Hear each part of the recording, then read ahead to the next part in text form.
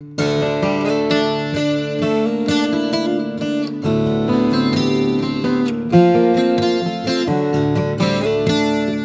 welcome back. We're in Exodus chapter 7 today, verses 22 to 25.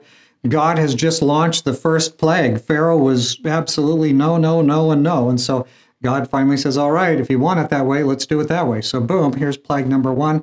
And now we're going to get some reaction to that first plague. So, let's see what it says. Let's read those verses starting at 22. But the magicians of Egypt did the same with their secret arts and Pharaoh's heart was hardened, and he did not listen to them, as the Lord had said. Then Pharaoh turned and went into his house with no concern even for this. So all the Egyptians dug around the Nile for water to drink, for they could not drink of the water of the Nile. Seven days passed after the Lord had struck the Nile. So this is the reaction of Pharaoh. He's got his uh, wise men and magicians and so on, and he brings them and they sort of in some way duplicated this thing, although surely not to the extent, again, that God had done it. And again, it must have been an appearance and not the real deal, because Satan's powers are simply limited. He is not a God, he's just a created creature who's gone mentally ill. So, Pharaoh, after all this goes by, what happens? Pharaoh just up and walks away. He just leaves the scene. He's he's goes and he and he goes and he sits in his house. He sounds kind of grumpy and petulant here. He, goes away and sits in his house. Maybe the door slammed. I don't know.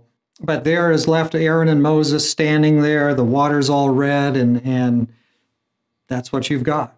Meanwhile, the Egyptians have to start digging for water, and they dig, they dig all throughout a space of seven days. They have to dig all week long there just to get some water to drink. And in His mercy, God allows them to find some drinkable water. Isn't it interesting how Satan always appears to duplicate the work of God? He's always kind of got a deception a fake thing, a miracle, a fake miracle going on, but he makes it counterfeit. He makes it look like that this is a he's he's, he's reduplicating, he's copying God, but it's but it's a deception.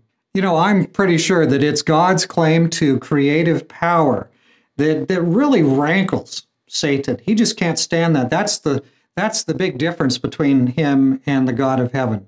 God has creative power. Lucifer does not have creative power.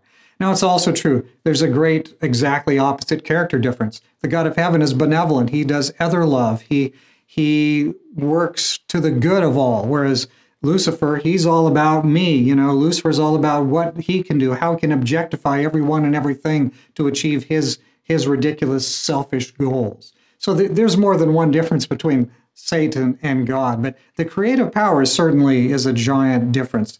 I believe Satan must hate that one almost more than anything else. This is the clear difference that separates God and his claim to be worshiped from Satan and something he can never be, he can never attain. He cannot become trans uh, trans theophany, uh, you know, become shift from being a creature to the creator. Satan can't do that. So what's the result of all these deceptions? Well, you know, God's not going to be fooled. The the unfallen angels, they're not going to be fooled the fallen angels that are on Lucifer's side, they they kind of know what's what's up. They're not going to be fooled. So these satanic deceptions, they're all for the um, benefits. Probably not the right word, but they're all for the work of deceiving human beings, other creatures that are created beings that don't have infinite power. He wants to deceive them. He wants to deceive us and so that's the where these where these things are going. He wants to deceive us, the onlooking humans. So it's just humans that really are misled. And and why is it that we are so easily misled? If you stop to think about it, the reason why is because a lot of times we we're not we don't like reality. We're not we don't like the reality as it is. We don't like the lay of the land as it truly lays. We want it to be different. We want it to be set up in some way that's going to benefit us. We wish that reality were different. And so we set ourselves up to be easily deceived, easily misled, because if Satan can put something out there that looks more like what we want than what God allows us to see, which is the way it really is, what are we apt to do? We may be very apt to swallow up the fake deception, the fake thing that isn't the way it really is. But that's what we want. And so, yeah, we're going to be tending toward that thing instead of God's reality we kind of want a, a, world in which God was benevolent to us, but then he went away somewhere else, far away, so that we could kind of do whatever we want and indulge ourselves in the, whatever we want to do. That's that's not what God does. God loves us. He's right here with us. He's right on top of it. He, he's he's with you every day. His angels are with you every day, not only watching but even giving you help and guidance if you'll have it. He will guide your thinking so that you are able to rise above all the incoming static and bad things in our world. So watch out for the deceptions. This is just Satan at work. We see it here kind of prototypically back here uh, in these uh, attempts to counterfeit God's what God has done. Satan hasn't changed. He's still working to deceive humans today.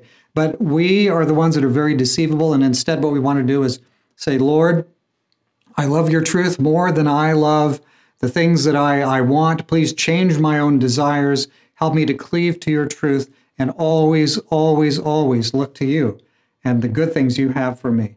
And that will help us to not be so easily deceived by these demons who are ready and able and quite actively working to bring us to death. God bless you and watch over you today. Watch out for deceptions. Be in the Word, and you will not be deceived. God bless you.